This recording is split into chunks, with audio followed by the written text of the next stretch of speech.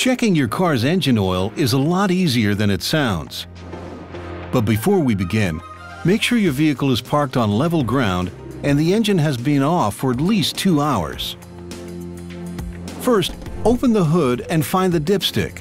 It looks like this. Pull it out and wipe it clean with a paper towel.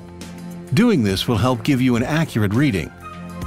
Now, insert the dipstick back into its tube. Then pull it out again to see where the level is.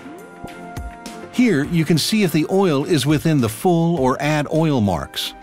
If it's lower than the add oil mark, you'll need to add more engine oil. But don't go over the full mark because that would be bad for the engine. Want to check your oil life? You can access the Oil Life Monitor display on the DIC by scrolling on the steering wheel control. There, you can see an estimate of the oil's remaining useful life, so you can help keep your engine in good shape.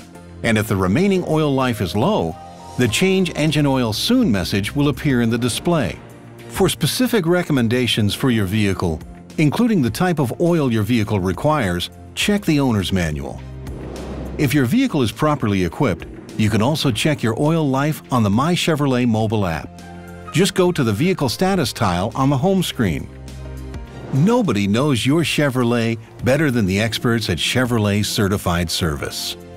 Because a little caring goes a long way.